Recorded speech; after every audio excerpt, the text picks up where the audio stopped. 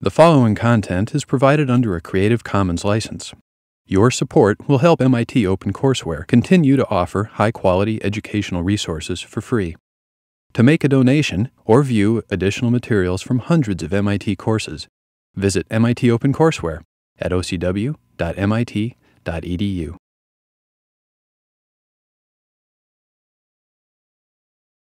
We're going to move on with GroEL, GroES, um, and a few more comments about where we closed yesterday and then talk about experiments that were done to determine what polypeptides are folded by this machinery. So I'm just curious, has anyone stuck trigger factor or GroEL into PubMed to see how many hits you get? Yeah, so Rebecca's question yesterday, um, or on Monday, about trigger factor and active versus passive folding motivated me to, to take a look. Um, so just to give you some scope, if you put trigger factor in PubMed as of last night, there's 11,810 hits um, there. Okay, GroEL is closer to two to 3,000 in that, that range. Um, if you put trigger factor active folding, you end up with 34 hits. Um, most of those are about using trigger factor and protein overexpression. Um, so if you also express trigger factor, does that help? Um, and it looked like there was one paper in those 34 that suggests an active folding role for um, one of the domains. But that is just looking at an abstract. And so um, the point there is there's many, many studies that consider these chaperones and, and a huge literature to search. So what we're able to cover here is really just the tip of the iceberg for that. Um, there's also a new review out on GroEL, GroES, which is not required reading, but we're posting it um, on Stellar. So it just came out last month, and I really enjoyed reading this review. I thought they did a very good job of talking about current questions that are unanswered yet in terms of models and presenting different models for how this folding chamber works. So passive versus active, for instance. Um, and they also give a summary of the substrate um, scope, so the experiments we'll talk about today. So where we left off last time, we went over the structure of this um, folding chamber, and here's just another depiction of the overview. So um, effectively, we have two back-to-back -back heptamer rings as shown here. Some polypeptide in its non-native state can bind. It initially binds up at the top by these apical domains, and there's some hydrophobic interactions. Okay, ATP also binds, and we have all seven ATPs bound within one ring, the ring that has the polypeptide. Okay, we see the lid come on, and then this polypeptide has some time, a residency time in this chamber um, to fold. And then after the residency time, which is generally quoted on the order of six to 10 seconds, um, the lid comes off and it gets ejected. And during that time, the ATPs are hydrolyzed. So somehow this ATP hydrolysis um, gives conformational changes that drive this cycle. Okay, and then we see, again, we flip to having function in the other ring. Um, so one point to make involves cooperativity. So I hope you've all seen cooperativity before, probably in the context of hemoglobin. Um, we have examples here of positive cooperativity and negative cooperativity, right? So within one heptamer ring, ATP binds to all seven subunits. So that's positive cooperativity. And then we can think about negative cooperativity between the two rings where we only have ATPs bound to one ring. So the other heptamer ring will not have ATP bound here. So what is happening inside this chamber? Right, the polypeptide enters the chamber and it's given this protected environment to fold. And we saw that when the GroES lid comes in, that the hydrophilic nature, hydrophobic nature of the interior changes and it becomes more hydrophilic.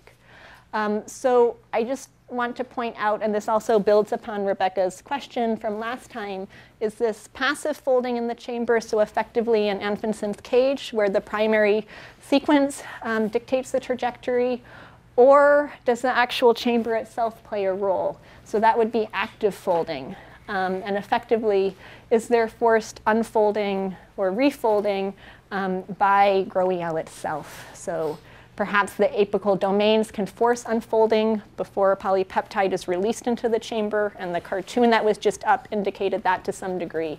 Maybe the cavity walls um, are involved. And what I would say is that the pendulum on this has swayed quite a bit over the years um, in terms of whether or not GROEL is a passive folding cage or actively involved in folding. Um, and some of the debates in the literature um, have resulted from experimental setups that may bias results to indicate one thing or the other. Um, and that's something the community is striving to work out these days. Um, and I'll talk about that a bit more on the next slide. But I'll just note these questions are still there. Um, and the recent review I just noted discusses these questions. Um, there was a study just a few years ago that was performed with very dilute polypeptide substrate, um, so below one nanomolar. And what they conclude from this study is that GROEL um, is involved in active folding of a maltose binding protein mutant. Um, one question I'll just bring up with this is maltose binding protein is a nice model polypeptide, but, but what happens for a native GROEL substrate? Um, and is there utility in studying those? So why have I emphasized this dilute protein sample um, point here? So what happened in some early work in terms of studies that were done to try to differentiate active or passive folding is that there were some complexities in in vitro studies. So here I just have a cartoon of folding in the chamber. Um, and if we think about only one polypeptide within the GROEL chamber, it's folding in isolation, right? So there's no possibility for it to form an aggregate or a oligomer with other polypeptides, right? It's all alone here. So this folding in the chamber avoids the complications of the folding landscape we talked about in the introductory lecture to this module. So what happens in aqueous solution? right? There's the possibility that depending on your conditions, maybe there's some sort of aggregate that forms, right? And if this aggregate forms, what does that mean in terms of what you see? And so in earlier work, there were some um, in vitro kinetic studies that indicated GROEL accelerates folding relative to folding in dilute aqueous solution. Um, but some of these comparisons weren't appropriate because as it turns out, um, oligomerization might compete with what you're watching for, right? And so if there's some oligomerization happening, um, it might indicate that the rate is slower than you think, right? So there's ways to monitor for this, and it's just a point in terms of kind of what control studies do you need to do to make sure your experimental setup is appropriate there. So I think it will be exciting to see what's to come um, in future years about this question and sort of what kinds of biophysical techniques are applied, um, including single molecule studies here. So where we're going to go, um, moving on, is to think about what actually are the substrates for GROEL. So what polypeptides get folded in this chamber, and how do we begin to address that question um, from the standpoint of what's happening in the cell? Okay, so first we're just going to consider some observations and then we're going to go into the experiments here. So here are some observations. So the first one is that polypeptides up to 60 kilodaltons can fold in this chamber. So that's quite big, 60 kilodaltons. Um, some proteins or polypeptides need to enter the GROEL chamber multiple times to be folded. So that means the chaperone has the ability to bind and release and rebind the polypeptide um, here. So when studies are done in vitro, what's found is that almost all polypeptides interact with GROEL. So you just saw even an example of that um, in terms of this non-native maltose binding protein. So many polypeptides will interact. And this really contrasts what's observed in the cell, where in vivo, um, GROEL is involved in only folding about 10% of E. coli proteins here. Okay, so what observations three and four suggest is that GROEL has some preference for particular endogenous polypeptides. And what we want to answer is, you know, what are these polypeptides and what are their properties here? Okay, so Hartl's group did some nice studies um, to look at this, what needs to be done. Um, first of all, there needs to be a way to isolate the polypeptides that are interacting with GRO-EL in the cell. Okay, and then once these polypeptides are isolated, they need to be analyzed um, in order to learn about their identity and properties. Okay, so we're going to look at experiments that were done to address this. Um, and they involve pulse chase labeling of newly synthesized proteins, immunoprecipitation, and analysis here. So um, in terms of addressing what are these substrates, we're going to begin with pulse chase labeling.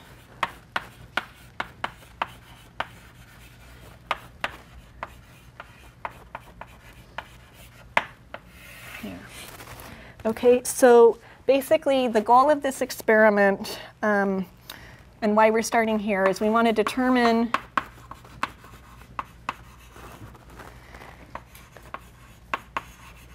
which proteins interact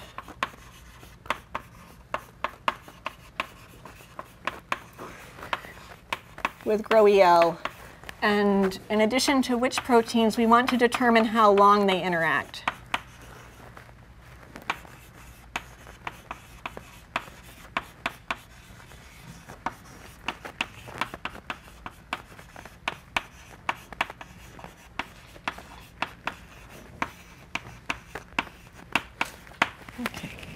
So what is the experiment?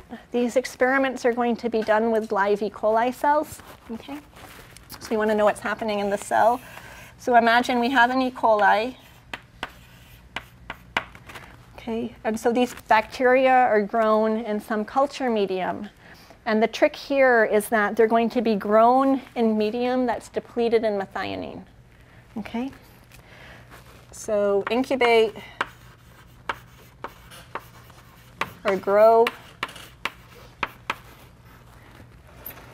in medium with no methionine. Okay, so effectively we're depleting them of that amino acid. Okay, so then after some period of growth, what are we going to do? We're going to spike the culture with radio-labeled methionine. Okay, and this is the pulse.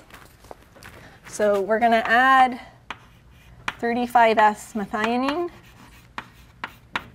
Okay, and we're then going to incubate for 15 seconds. Okay, and so that's a pulse with a radio-labeled amino acid. Then what are we going to do? And after we go through the steps, we'll go through why. Okay, after this stage, we're going to add excess unlabeled methionine. Okay?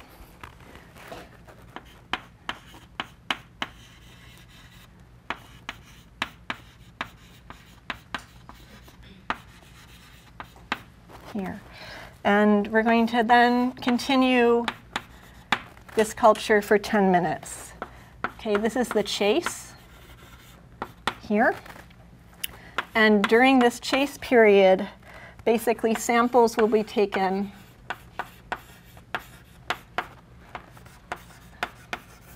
at varying time points. Okay, and then at some point, we're just going to stop this. Okay, so just say stop culture and experiment. Okay. So what's happening in each of these steps and, and why are we doing this? So what we want to do is think about newly translated polypeptides. Okay? So we have a living E. coli. It has ribosomes, and these ribosomes are going to be synthesizing polypeptides over the course of this experiment. So during the pulse period, Okay. All proteins or all polypeptides synthesized are radio labeled.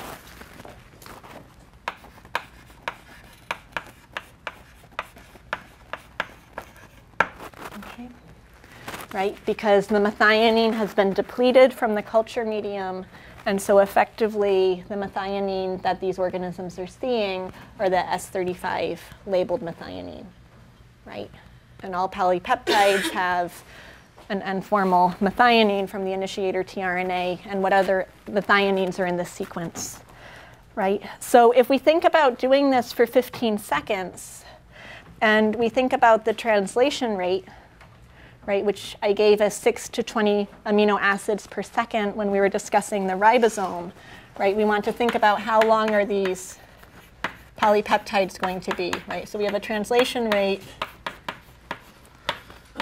bless you, of 6 to 20 amino acids per second. Okay, so if we think about 15 seconds of a pulse, we're getting polypeptides on the order of 90 to 300 amino acids synthesized during that time. Okay. So newly synthesized polypeptides in these 50, 15 seconds are radio-labeled. What happens next? Okay, we have this chase period where we flood the system with unlabeled methionine here.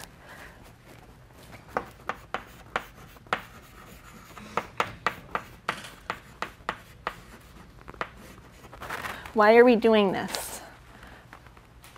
Right, so certainly there's some polypeptides that are longer than 300 amino acids, right? That still need time to be synthesized. And if there's new polypeptides being synthesized that start in this stage, we won't see them because this unlabeled methionine is in vast excess over the radio-labeled methionine that was added early. Okay. So here, You have the synthesis of larger polypeptides.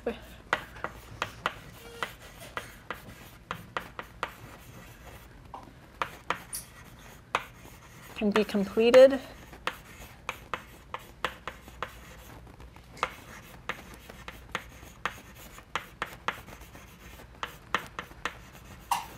Okay, and we have no longer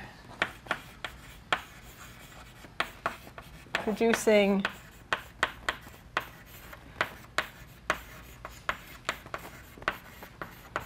radiolabeled new polypeptides.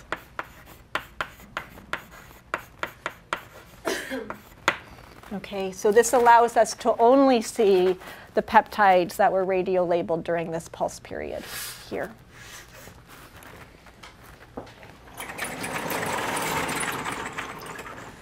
So what are we going to do in terms of the sampling um, at various time points?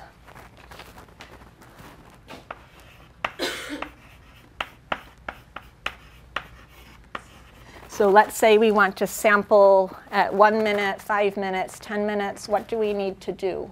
So can we just aliquot out some of these E. coli and put them on our bench?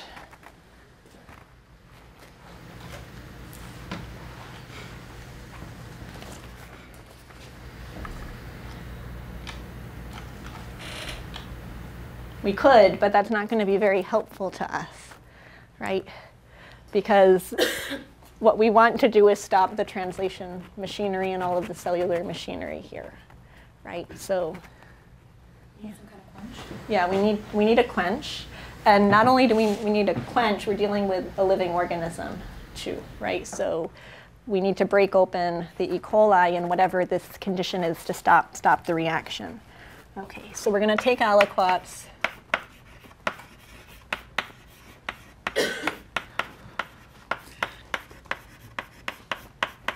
at varying time points. Okay, and basically we care about time, so we have to immediately lyse or break open the cells. Um, and this was done in the presence of EDTA.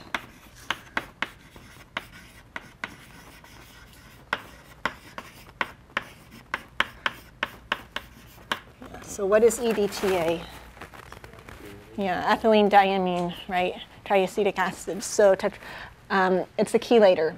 and why might this lysis be done in the presence of this metal chelator? You don't inhibit ATP-dependent processes like, um, well, we'll chelate magnesium, which would help inhibit. Are there proteases that are well binding? There certainly are zinc proteases. Yeah, so that, that's one class of protease, right? So EDTA will chelate many, many different metals, right? The main point here is we want to stop, stop translation, right? Shut down processes here. Okay. So we have these samples. Um, what do we need to do next? Um, we need a way to detect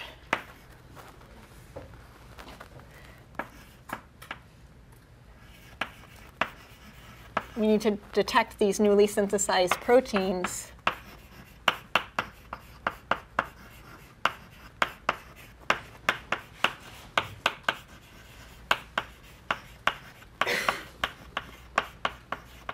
Okay. That interact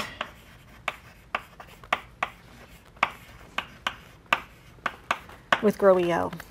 Okay, and we want to do this at each time point. So how are we going to do this? We have a very complex mixture that has all of the cellular components. Um,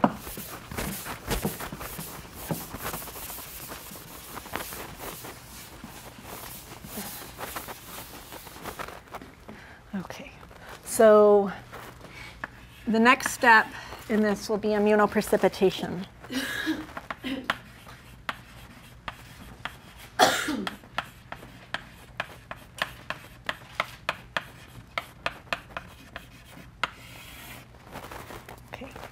And so what will happen in immunoprecipitation in these experiments is that the researchers had an antibody that binds to GROEL, and this antibody was put on a bead um, and used to fish out GROEL from this complex mixture. And we need to talk about these antibodies a little more, but just in starting, imagine there's a bead, right? And we think about antibodies as being Y-shaped um, biomolecules.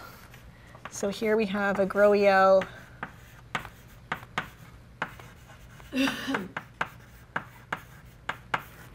okay.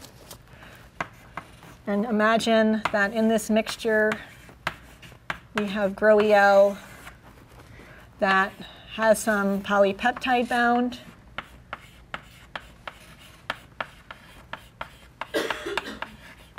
That's one of its endogenous substrates. So if these are mixed together,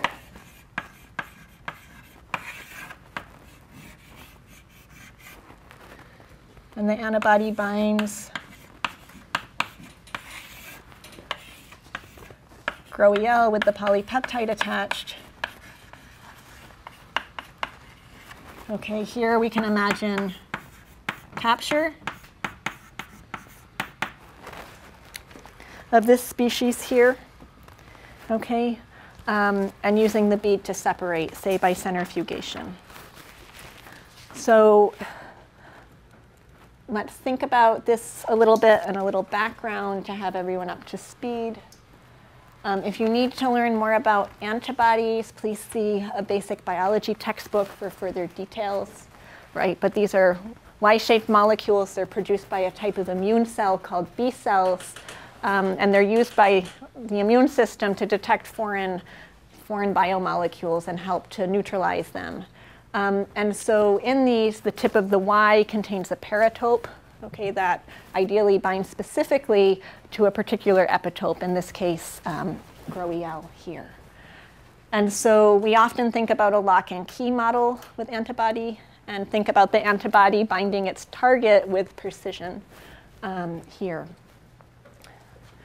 So for these experiments that were done, just realize the researchers had to come up with an antibody to GroEL. How is that done? Um, they may have immunized, say, a rabbit with, or given a rabbit um, GroEL and allowed that rabbit to produce antibodies, and then they isolate the antibodies here. Um, so something we want you to take home from this course is yes, um, the antibody should bind the target with precision, but there's huge problems um, in terms of use of antibodies in research. This is just the start of an article that was published last year around this time, and it's focused on pharma and clinical trials, but this is much more broad. Um, and often antibodies aren't as specific as indicated by the label on the container from the supplier here.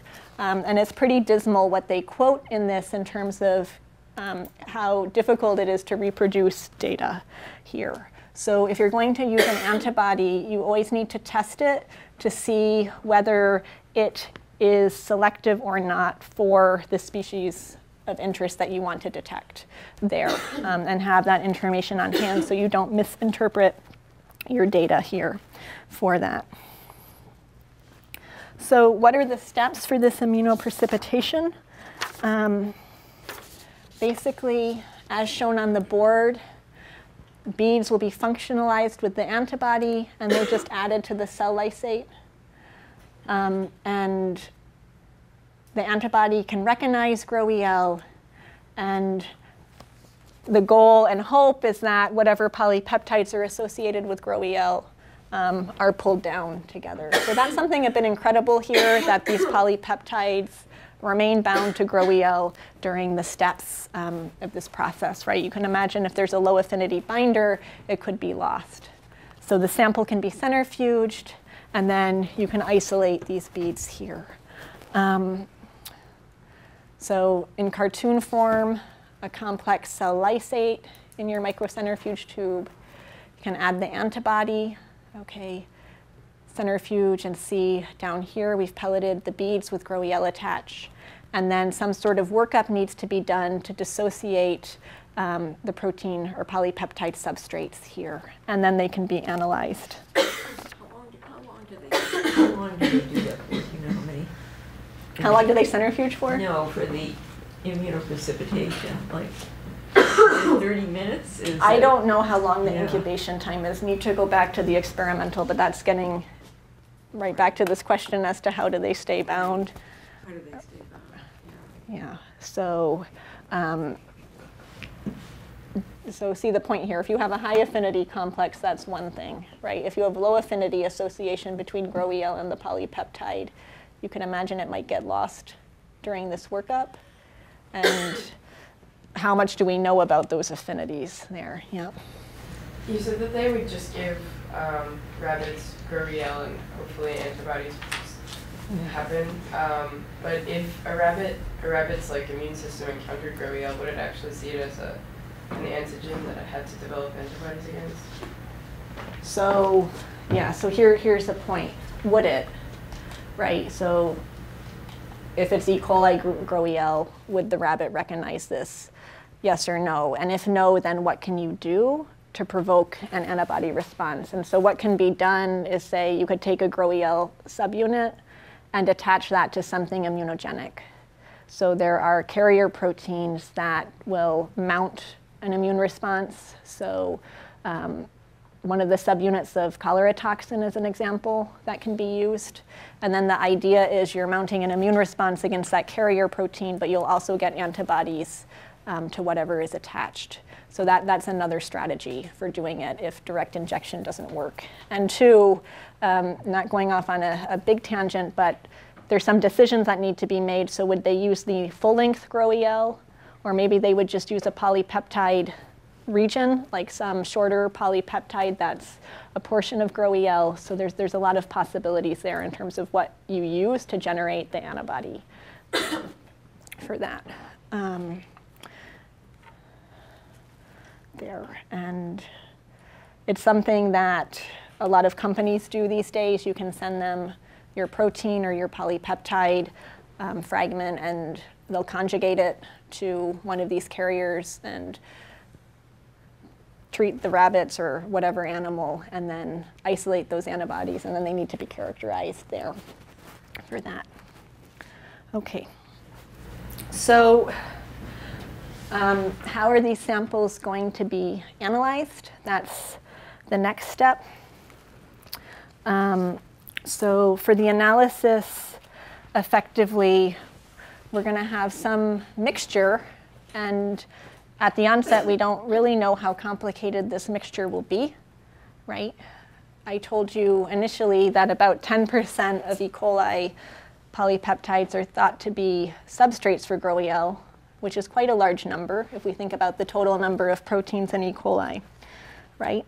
And the other point is we have this radio label, which we're going to use for detection there. Okay. So for analysis,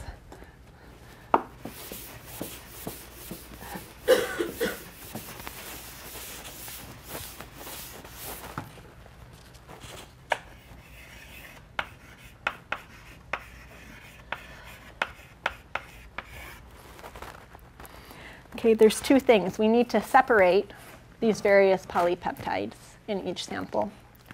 Okay, and then we need to determine what their identities are here. So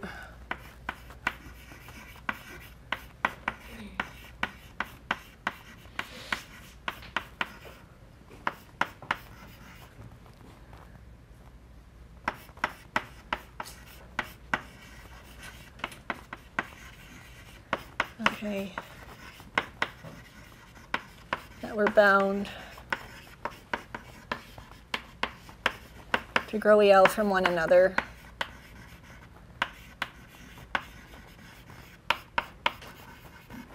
Okay, and then we need to determine identities. And once we know the identities, we can think about their properties. Okay, and this needs to be done at every sample that was collected along this time course, right, which is also going to give some temporal information. So what are the methods that have been used? So in order to separate the proteins in this complex sample, um, the method is a 2D gel. So 2D gel electrophoresis.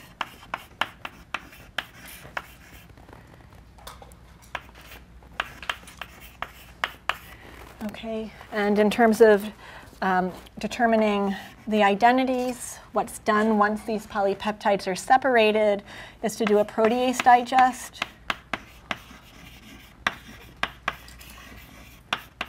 And then mass spectrometry.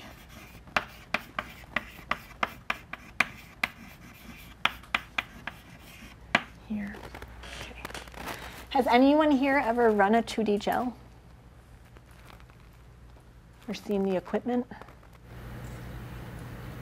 One person. Has anyone heard of 2D gels? Fair number. Okay.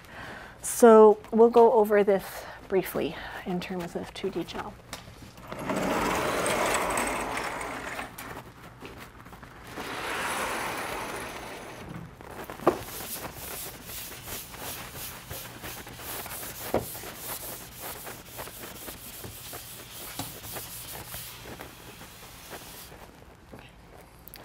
So in terms of 2D gel electrophoresis,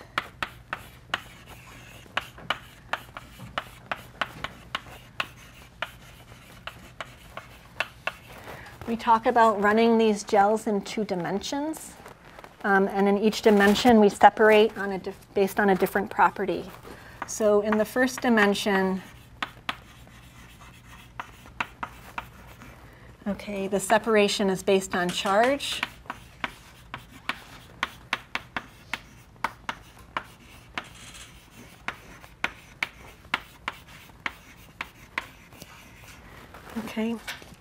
And um, effectively, we can talk about the PI of a protein. So the PI is the isoelectric point.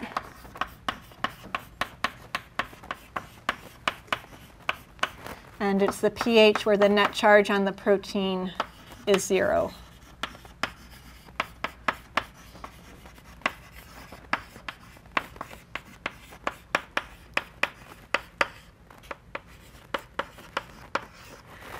Okay, and so the type of gel we use here is called isoelectric focusing, or IEF.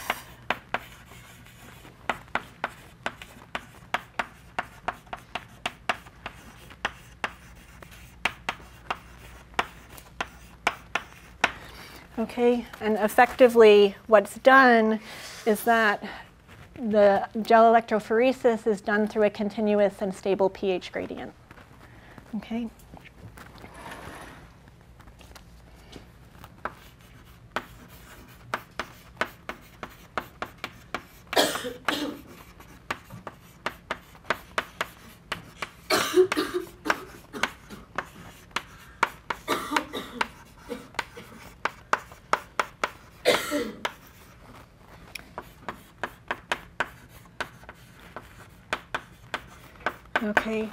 And in this gel, the protein will migrate to a position um, where the pH corresponds to the PI. Okay. So the anode is low pH and the cathode high pH. So that's quite different than SDS, right? Where in an SDS page gel, we're coating the protein with negative charge. Okay. So then the second dimension is something probably most of us are familiar with is SDS page. Okay. And so what happens in SDS page, right? We have separation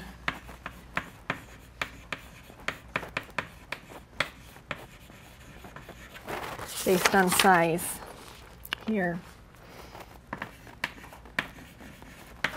Molecular weight.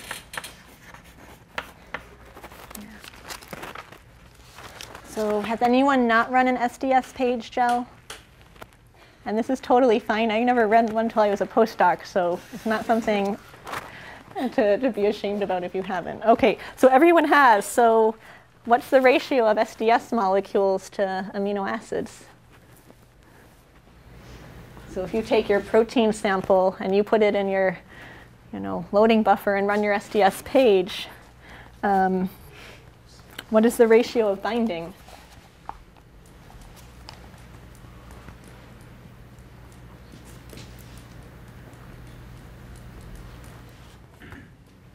What is SDS?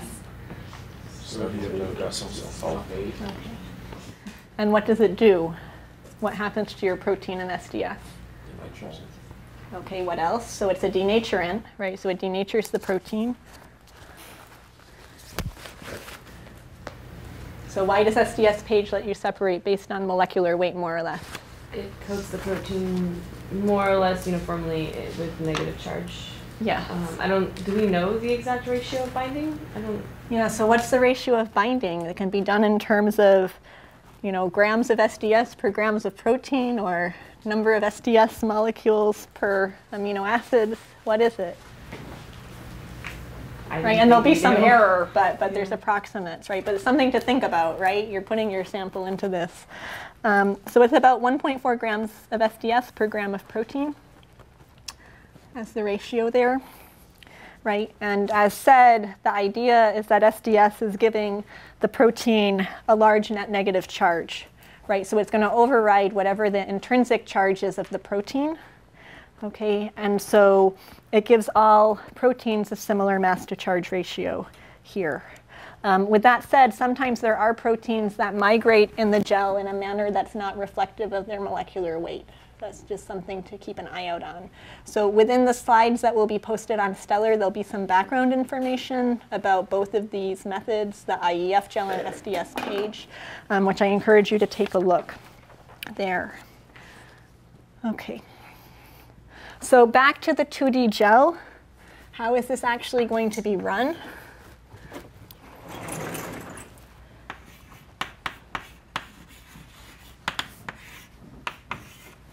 Okay, so it's one gel. First it needs to run the IEF gel. And you need a special apparatus for this. It's called a cylinder or tube gel. So not flat like what you're all accustomed to for SDS page.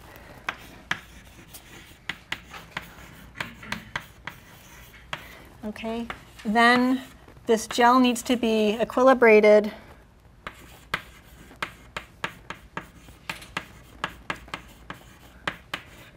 in the SDS page buffer. Okay. And then you run the SDS page separation.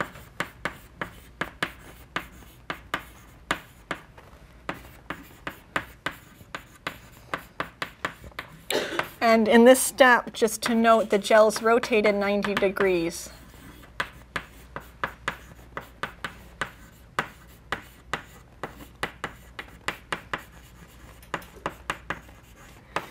Okay, so what you get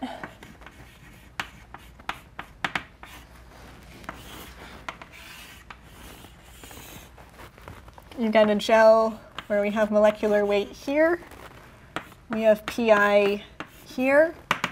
And if it's a cell lysate, there's going to be many, many spots, okay? Those should all be spots, unless you did a poor job running the gel, okay?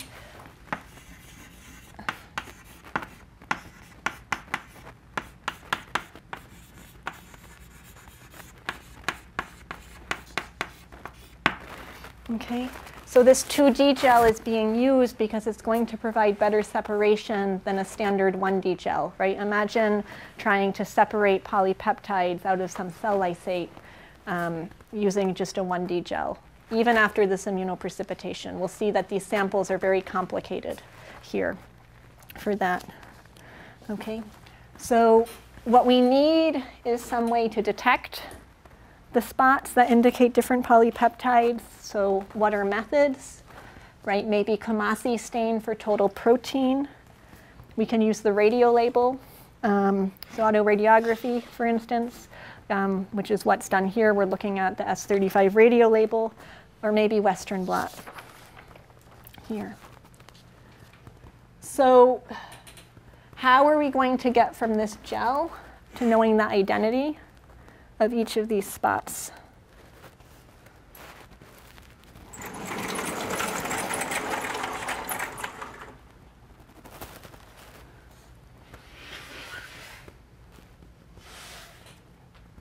You have to identify each spot, excise it, um, extract the protein from the gel, digest it, and then run MS and line it up with known protein fragments. Yeah, exactly, right? So what will be done is that each spot of interest will be cut out of the gel. So you need a way to mark them. You'll see they're numbered in the data that we'll look at. Okay, the protein needs to be extracted out of the gel. Okay, then the protein will be incubated with a protease that will give some number of fragments. Right, trypsin was used in this work and then that digest can be analyzed by mass spec. And so for each sample, you get all of the M over Z values for the different polypeptides that resulted from the digest. And then effectively, you can compare that to some database um, of E. coli protein sequences. So further details are provided throughout here. Um, so what are the major questions and um, what are we going to look for answers for in the data here. So first, how many proteins interact with GroEL? Right, we can imagine getting an answer to this by counting the number of spots. Um, what are the identities and structural features and properties of the proteins that interact with GroEL? Right, we're going to get that from, from the mass spec analysis um, and then literature studies. And then another question we can get at is asking how long do proteins interact with GroEL, right? Because recall in the pulse chase, um, samples were taken at various time points over that 10-minute period. So at two minutes, do we see the same polypeptides associated as we see at 10 minutes? Or if we monitor one given polypeptide, um, when does it show up and potentially disappear from the gels? Okay, so all of these samples can be addressed with these methods. And where we'll begin on Friday is going through the data um, in some detail, but just as a prelude to that in the last minute, here's the data from the paper for these gels. Okay, um, so this is looking at the 2D gels for on the top, total soluble cytoplasmic proteins at zero minutes, and then total cytoplasmic proteins at 10 minutes. So this is without the immunoprecipitation. And then at the bottom here, what we're looking at are the polypeptides that were isolated from the immunoprecipitation with the anti-GroEL antibody at zero minutes and 10 minutes. And so before we meet next time, what I encourage you to do is take a close look at these gels and see what information um, can you pull out just from a qualitative look, right? So simple questions like, we see a lot of proteins here. Um, and please don't go and try and count all the spots. I'll, I'll give you the numbers next time. Um, but um, you know, how do these gels here from the immunoprecipitation differ from these up top, right? And it's not just the total number of proteins. There's some additional subtleties in these data.